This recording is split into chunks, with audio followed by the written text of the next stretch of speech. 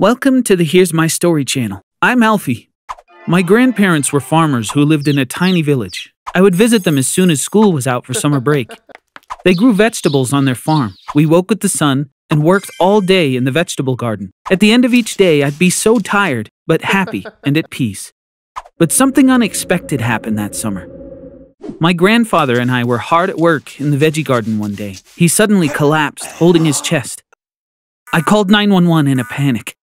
Alfie, you're such a great kid, my grandfather said. I wish I could have more time with you. Take care of your grandma for me. I'm sure you'll grow up to be a fine young man. He died before the ambulance arrived. At the funeral, my grandma and I cried the whole time, holding each other. My dad didn't offer any comfort to grandma and didn't seem to care about grandpa's passing. He never visited, even though they were his parents. I'd be willing to bet he couldn't even remember the last time he'd seen them. During the funeral, I overheard my parents whispering to each other. Can't we just put her in a retirement home? Mom said. I don't want her living with us. Mm-hmm. Dad replied, I don't want that either, but we have to take her in for a while. My father put all their savings into my mother's bank account. She must have at least 150k in there. At least, if we can get our hands on that money, we can open the gas station of our dreams. I couldn't believe what I was hearing. How could anyone be thinking about money at a time like this? Despite endlessly dreaming about money, they were always broke. I wanted to humiliate them, call them out with everyone watching in the church. But I stayed silent. Grandma would have to live in a retirement home if they didn't get the money, and that was the last thing I wanted. The following day, Dad asked Grandma for the money in her bank account. Grandma said no. That is Alfie's college fund. Sell the house and the land. Start your business with the money from the sale. I don't care. Just don't touch Alfie's money, she said firmly. When he heard that, Dad's mood took a turn. Mom, who would buy a property in the middle of nowhere? Even if somebody wanted to, it's only worth a few thousand dollars. Give us the money. We've been planning for this gas station for years. Alfie doesn't need to go to college. He hasn't got the brains for it anyway. Dad put me down all the time. I could ignore that, but I couldn't believe he would force my grandmother to give up the money just to live with us. I didn't even know my grandparents had saved their money for me. Grandma, I said, it's okay to give Dad the money in the bank. Oh. If I have to choose between you and college, I choose you. I meant every word. Hmm. My parents got the money and Grandma moved right into my room, even though I had lost one of the two people I loved the most. Thankfully, one of them had come to live with me. Grandpa's death broke my heart, but at least I had this. My parents immediately got to work setting up the gas station. I rarely saw them. I started a small garden in front of our house full of tomatoes, carrots, broccoli, and potatoes. Grandma deserved to eat fresh vegetables like she did back on the farm. My parents saw me working in the garden as they left for work one morning. That kid is such a disappointment, Dad scoffed. We're out building the busiest gas station in town and he's still trying to grow potatoes. Why? Because he's a potato head. They laughed so hard the neighborhood shook and sped off in their new car. At first, it seemed like business was booming. Between the luxury SUV, shopping bags with high end labels, and a maid, Mom and Dad's luck looked like it was finally changing. Of course, they kept it all to themselves, even the maid. It seemed weird my parents could make so much money in such a short time running a gas station. But at the time, more time with the business meant they barely spent any time at home. For the most part, Grandma and I lived in peace. Unfortunately, something happened that changed everything. One night, the police raided our house. They took my parents away. It came as a shock until we found out why. In our part of the country, oil is a big industry. We have colossal rigs and refineries that extract and process crude oil straight from the ground. Apparently, my parents had found a shady investor while opening the station, an investor with a long criminal rap sheet. Their partner had found a method of tapping into the refinery's main pipeline, allowing them to siphon thousands of gallons of stolen fuel. So you see, they were selling stolen gas at the station. That's why they'd made so much money so fast. After a month or so, my parents were released on bail, but the police seized everything they'd earned from the business. They lost everything, including the money they got from my grandmother. My parents were back to their miserable lives. Not only were they fighting each other all the time, but they took it out on Grandma and me. One day, my dad came at Grandma in a threatening tone. We have to sell the farm. My dad left everything to you. You're going to sell the land and give us the money, or you're going in a home. Of course, son, she said lovingly. Anything to keep my family together. I couldn't take it anymore. No, Grandma, I said. Please don't fall for it again. My dad already took your money from the bank. If they'd been doing honest work in the first place, we wouldn't be in this mess. Why should we have to suffer for their actions? Dad suddenly turned his threats on me. Do you even hear yourself, potato head? So that's how it's gonna be, huh? Pack your things. Get out of my house. He screamed at me. I couldn't believe my own father was kicking me out. I turned to my mom with a pleading look. She seemed to agree with me. Shame on you, she said in disgust. You've been living rent free in this house for years. So ungrateful. But Grandma's patience had its limits. Shame on you two, Grandma shouted. You have a wonderful son and you can't even appreciate him. Alfie, let's pack our things and go now. Grandma and I moved into the farmhouse. We woke up at dawn the next day. Grandma said, Back to what we love doing the most. We potato heads are going to keep growing the most delicious potatoes, tomatoes, and carrots this country has ever seen. I hugged her. I could feel another happy and peaceful summer coming on. Everything was going great, but since there was a summer drought, we needed more water for irrigation. For that reason, we had to dig a new irrigation well. Grandma called in a favor from a guy by the name of Jay. He seemed nice. He would come the next day to drill the well and let us pay him back after the harvest. Jay and his crew arrived early in the morning and picked the best spot for the well. Then they started drilling. After about five hours, I started getting concerned. How much longer is this going to take? I asked. We have to dig deeper to reach the water, Jay replied. This is going to be an artesian well. That means we won't need a pump. The water will naturally flow up to the surface. We should hit the aquifer any second now. Before he could say another word, Two crew members started yelling. When we turned around, we saw the water that was shooting out of the hole was pitch black. What I thought were shouts of panic were actually screams of excitement. We had struck oil. You heard that right. I said oil. We found oil on our land while looking for water. The thing I remember most from that day was Jay hollering with joy. It's a blowout! You're rich! Filthy rich! To secure the oil rights, you have to let the government know. So we started the paperwork. Inspectors surveyed the land and found a large oil deposit underground, so we signed a contract. The government would handle drilling arrangements and make regular payments to my grandmother in exchange. According to the inspectors, the well could last 90 years of production. Grandma would make millions of dollars off the oil well. We felt like we'd hit the jackpot. Grandma bought a beautiful home by the water. We were going to spend the summer there together, and as two potato heads, we would continue growing potatoes and other vegetables in our backyard. Our veggie garden turned oil field, made it on the news. It was exciting at first, but then my parents came calling. How are you, son? We saw you and your grandma on the TV. We want to come celebrate. Where are you now? He asked. I didn't say anything. Honey, we're so proud of you, Mom lied. You look so good on TV. We missed you. We'll be there in no time. Their call came as no surprise. I'd even prepared something special beforehand. Thanks for calling. Let me go get Grandma. I'll call you in a bit, I said. My parents were excited. My dad said, That would be amazing. We missed your grandma too. We'll be waiting for your call, son, and hung up. I put on my potato head costume. Ten minutes later, Grandma and I video called my parents. Their confused looks were oh. priceless. They knew something was up. Are you having a costume party? My mom said, clearly annoyed. You look ridiculous. Nope, I replied. There's no party. This is how I normally dress. Remember? I'm a potato head. Dad said, Alfie, we were kidding. You're our son. We want to come congratulate you.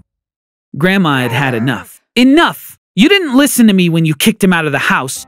How dare you try to patronize him now, she growled. That's when Dad's true colors came out. Mom, I'm your son. I'm entitled to the money from the land and that oil well, and I'll get my money even if you won't give it to me. Grandma said, Oh, so now you remember you're my son. You sure didn't act like it then, and you're not acting like it now. That land is in my name. I submitted my will to the lawyer yesterday. I'm going to leave everything I own to the one person in this family who deserves it most, and that is my grandson. Don't ever bother us again. Mom, Mommy, please let me explain. Dad's pleading was interrupted as I ended the call. What a fabulous costume, Potato Head, Grandma said. what do you say we head over to our favorite restaurant for some fries? But you're coming in costume. Deal? She hugged me as hard as she could, and we had the best dinner I had ever eaten. Those potato fries had never tasted so good. I'm Daphne. I woke up to my phone ringing. I had binge watched a show on Netflix until the early morning. I was so sleepy. I pulled the comforter over my head and tried to go back to sleep, but my phone had no intention of quieting down. I forced open my eyes halfway and reached over to see who was calling. It was my best friend Lucy. She wanted to do a video call. I picked up and said, I'm so sleepy. Can we talk later? Lucy couldn't respond because she was sobbing. Panicked, I sat up and yelled, What's wrong? She couldn't stop crying. Daphne, I need to say goodbye to you, was all she could say. Why? I asked. Unfortunately, Lucy's answer was nothing new to me. I told my mom that I wanted to get a tattoo like yours. She was so upset. You're not going to see Daphne again. She's a bad influence for you. You're getting ideas from her, she said. My mother thinks that having no rules at home is not right. As long as you're friends with Daphne, you're going to want to live like her. It's best if you don't see her anymore. Call her and say goodbye, she told me. Lucy was the third best friend I had lost this year. I would get close with someone. They would find out how I lived and share it with their family. Soon after, one of their parents would say something like this Anything goes at Daphne's home, but kids need to have rules. She's a bad influence for you. You should end your friendship with her. I used to be so sad when that happened, but unfortunately, I'm used to it by now. There was nothing I could do. Since I was fully awake, I might as well get some breakfast. When I went to the kitchen, I saw a note on the fridge door. Mom wrote, See you soon, sweet girl. I figured that my parents had gone on a trip. The note said soon, so they hadn't gone abroad, which meant that they would be back in a week. As you can see, there are no rules for the adults or the kids in our house. Everyone's free to do whatever they want. When I sleep over at a friend's house, I don't tell my parents about it. But for example, if I go to my grandma's and decide to stay there for more than a week, I'll let my family know. That way, my mom knows I won't be home for a while, so she doesn't have to cook for me. Actually, she doesn't have to cook for me at all. We don't have any rules around that either. At our house, there is no set time for meals. We don't sit and eat together. I can eat my dinner in the kitchen or in my room, anywhere I want to. The best part is, I'm free to eat whatever I want as well. For example, I was binge watching that show all night, which was why I only had ice cream and chocolate for dinner. My mom doesn't think of snacks like that as junk food. We always have steamed vegetables, chocolate, fruits, and ice cream in our fridge. Everyone can eat whatever they feel like eating. For those of you who are curious about my health, I can tell you that I've had no issues because of what I eat. Our body already knows what it needs.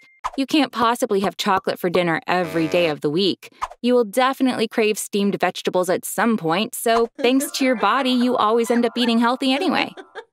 The other thing I like about our house is that there's no set bedtime. Sometimes I want to go to sleep at 9 p.m. Sometimes I forget about time when watching a show and get into bed at dawn. For a while, I was hooked on The Sims. I was spending every waking minute playing that game. Since there are no rules around gaming or watching TV at our house, my mom used to sit and watch me play The Sims until 3 in the morning. She would even fall asleep in my bed while I kept playing. Since I don't have a bedtime, you might want to ask me, do I not have school? My answer is, no, I don't. When I hit school age, my parents asked me, do you want to go to school? I said I wanted to because I would have so many new friends. But after a while, I realized school was definitely not for me. Going to school meant I had to obey countless rules. But I was raised in a household without any. That's why I was shocked at each and every one of them. One day, I felt so sleepy during class. I told the teacher that I wanted to sleep. She said, You can't sleep at school. You need to wait till you get home. This was the most ridiculous rule I ever heard in my life. I didn't go back to school the next day. I told my parents about my decision to quit school a week later. You might be young, but you still know best what's good for you or not. Do as you wish, my dad said. If I'm ever curious about anything, my parents get me a tutor on that subject. I learn things by taking online classes. At school, students are assigned classes without being asked the question, Do you want to know more on this subject? I, on the other hand, only learn about the things that I want to know, because these are things that I actually care about. I never forget what I've learned. When my friends stay over, they are so surprised that we don't have any rules at our house. And ah. I'm surprised that they're surprised. Ah. I think it's weird to live by rules.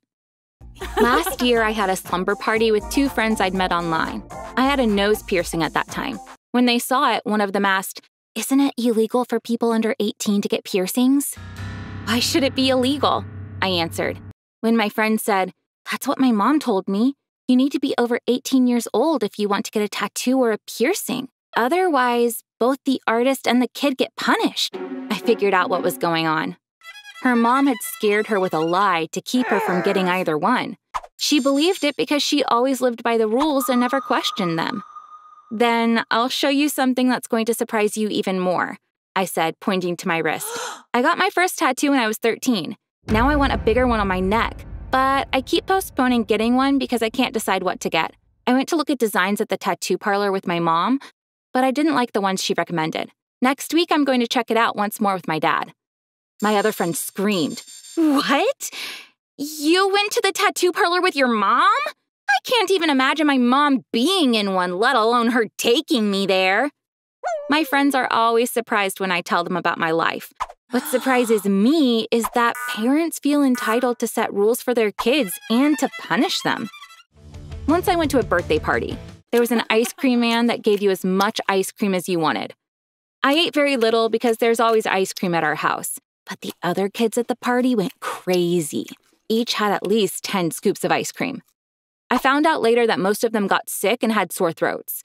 That's why their families banned them from eating ice cream for a long time. I think that made no sense. The kids saw firsthand that they get sore throats when they have too much ice cream. I'm sure if they see an ice cream man at another party, they will never eat that much again. The kids already learned their lessons, so what's the point of punishing them even further? You may think my parents are eccentric since we have zero rules at home, but that's not what they're like at all. As kids, they were both raised in fairly free households. They told each other about it when they met. When they decided to marry, they thought, we grew up in an environment of freedom, had happy childhoods, and became normal, decent human mm-hmm. beings. Someone who is even more free will have an even happier childhood and grow up to be a wonderful person. And they decided to have no rules for their future kid. I was born seven years after this decision and grew up in a rule free home, just like they imagined. When I was younger, I thought all kids were raised like me, but with time, I realized this wasn't the case at all. I couldn't believe that there were even more rules for kids than there were for adults. I love Pixar movies. When I was nine years old, I saw the trailer for Inside Out on YouTube and loved it. Let's go to the movies, I said to our neighbor's daughter. I'll ask my mom, but she said she was very busy today. I don't think she can take me to the movies, she replied. I was oh. surprised. When I said, Why is your mom taking you to the movies? We'll go, you and I. She was surprised. What do you mean? So you can go to the movies without your parents? She asked. Yes, why? I said. How does your mom respond when you tell her you're going to the movies by yourself? She asked. When I said to her, why would I tell her I'm going to the movies? I'm the one who's going. She laughed and thought I was kidding. She was shocked to realize I was dead serious. Later, she told her mom about our conversation. The next day, when I asked her, Do you want to go and play at the park? She said, My mom won't let me play with you anymore. As you can see, her mom also saw me as dangerous for her kid. I think it's wonderful to live in a house with no rules.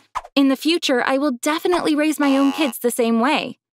Some of you may argue that kids need rules in their lives. Once a friend told me, I would have been a spoiled brat if my family had no rules at all. If you don't go by the rules, then you are prone to danger. That's why rules are good. I wish you had some rules too. Then you'd have a much easier and safer life. I think just the opposite. Kids shouldn't be patronized by their families. They should be able to make their own mistakes and learn about life that way. These are obviously my opinions. You may think differently. Please write your thoughts in the comments. I'm Julia. My sister Alexa and I were blindfolded, riding in the back seat of a car. We didn't know where we were going. Alexa said, Dad told me not to open our eyes, or we'll ruin the surprise. I'm so excited. Where do you think we're going? He either got a new yacht or a mansion. Or maybe he got an island again like last time. I really don't care. I'm only here because I don't want to be a party pooper, I replied. Shortly after, the car came to a stop. We got off, still blindfolded. Then we heard Dad's voice. You can open your eyes, girls. Let's see if you'll like this. Dad! I can't believe it! It's incredible! Alexa screamed. I reluctantly took off my blindfold. We were at the airport, and a dazzling plane made of solid gold stood before me.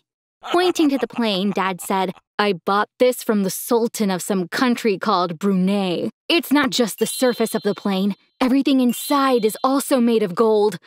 Oh man, I love how gold shimmers. We need more golden furniture at home. I'd stopped commenting on Dad's love for glamour a long time ago, but a solid gold plane was so outrageous that I couldn't stop myself.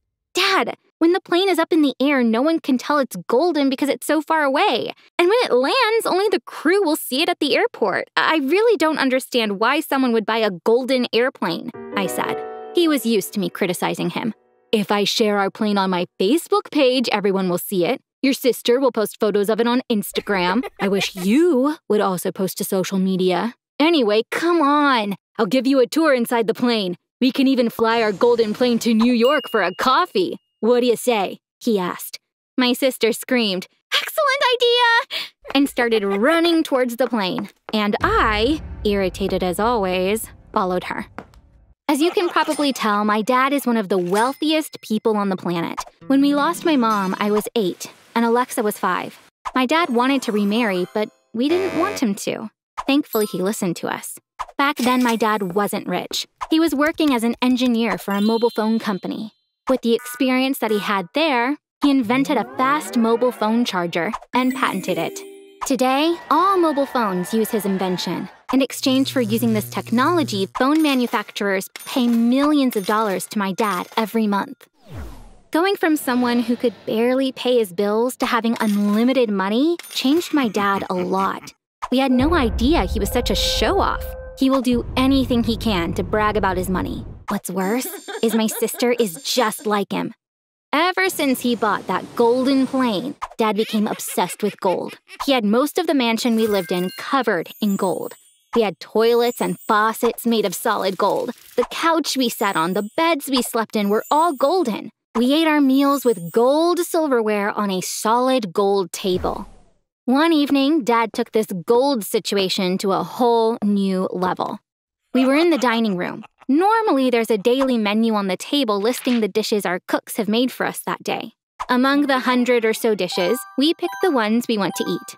But there was no menu that night. Dad said, Girls, I got a surprise for you, and clapped his hands a chef walked into the room. Nikolai is our new chef. He used to be the private chef for a Russian billionaire.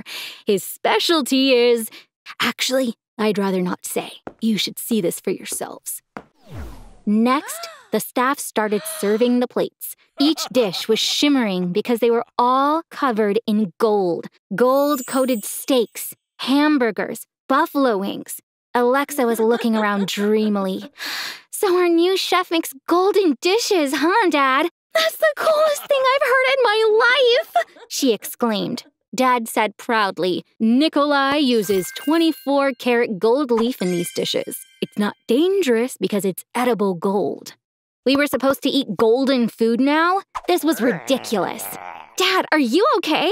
It's not fair for us to eat food that's made of gold when there's so much poverty in the world. I feel so bad seeing so many people without homes. You, on the other hand, are ordering food to be made with gold? I can't possibly stand for this, I said and ran out of the dining room. Since then, I've never had dinner with them. According to Alexa, Chef Nikolai was still cooking food with gold. Both my dad and my sister were so happy with it. I hadn't seen my dad in a while. A few days before my birthday, he came to my room. I know you're mad at me, but I'll make it up to you. You told Alexa that you didn't want a birthday party. I'll honor your wish, but please allow me to at least give you a birthday present, he said. I probably wouldn't like what he had gotten me, but I still said yes. With a strange smile, I replied, Okay, but please, nothing big. Dad was really happy, and he said, I'm sure you will love it. You'll even forgive me when you see it. Honestly, I was intrigued. What was he going to give me? I had to wait until my birthday to find out. Finally, the day arrived. Just like all of Dad's surprises, it began with me in a blindfold. Alexa guided me by my arm. We started walking. She was saying we weren't supposed to leave the mansion. Soon after, I realized we were outdoors. Alexa removed my blindfold. We were on the big balcony in the front of the house. When I looked out to the garden, I couldn't believe my eyes. There were hundreds of people down there. It looked like all of them were homeless people brought from downtown. My dad was also on the balcony with us, and there was a big treasure chest right next to him. The chest was chock full of gold coins. Dad picked up a gold coin from the chest and threw it down to the people. And all hell broke loose. The people were fighting each other ruthlessly to catch that gold coin. After the scuffle, one guy finally grabbed it. Then all the men started staring back at the balcony, waiting for another one to be thrown at them. It was a really sad sight. My dad said, Happy birthday, honey! This was the birthday gift I was telling you about. You told me you felt sorry for the homeless. There are exactly a thousand gold coins in this chest. You can throw them all. Wasn't it so fun to see them fight for that one gold coin? and laughed. I was listening to him in complete shock. Dad, have you lost your mind? What kind of gift is this? When did you become so heartless? I said. He got upset. Julia, you don't like anything anymore. I think it's a great idea. Look, we gathered all these homeless people and brought them here. Do you think that was easy? And most of them will leave here with gold in their pockets. What else do you want? Dad, you don't know me at all. It's utterly cruel to throw gold coins from a balcony onto people and watch them fight each other for them. My father can't be this heartless. That's enough. I am disowning you. You're not my father anymore. I screamed. Both he and my sister were shocked by my words. I didn't want to spend one more second in that house. I returned to my room. I called my mom's sister and told her everything. Come here. You can live with us, she said. I packed a few clothes and left. As I was leaving through the garden, I saw that they were still throwing coins at people. They were laughing as they watched people fight each other. I felt a deep sense of relief to be leaving this place. Two weeks passed, and I was so happy at my aunt's. I spoke to Alexa on the phone sometimes, but I had to cut off my dad entirely. I had one small issue. I had left my math project at the mansion. It took me so long to do it that I couldn't start over from scratch. I texted my sister that night. I told her that I was going to come early in the morning and wait for her in front of the mansion so she could bring me my project. I went to the house in the morning, but Alexa was nowhere to be seen. I called her. She didn't pick up. I figured she was asleep. It looked like I had to enter the house and get it myself. The security guards were surprised to see me at that hour of the day, but they didn't dare say anything. I greeted them and went inside. I wanted to see my sister before I got the project. Once I was home, I realized that I'd missed her. As soon as I walked into Alexa's room, I started screaming. She was lying on the floor, unconscious and foaming at the mouth. I went to my dad's bedroom to let him know. He was in his bed, but he was also unconscious and foaming at the mouth. I called 911 immediately. The paramedics arrived shortly after. They took my sister and my dad to the hospital. In the hospital, I discovered that both of them had their stomachs pumped. Apparently, they had gold poisoning. Chef Nikolai was trying to make it to the Guinness Book of World Records with the most expensive dessert ever made. To increase its value, he put five times the normal amount of gold he puts in his dishes. When my dad and Alexa ingested that much gold, their bodies couldn't handle it. After they got treatment, I was able to see both of them. The doctor said to my dad, You owe your life to your daughter. If you had come in an hour later, we couldn't have saved you. After a while, they came to visit me at my aunt's house. My dad apologized to me a million times. I don't know how to make you forgive me. You were so right to denounce me as a father. I'm going to do my best to earn the right to be your father again, he said.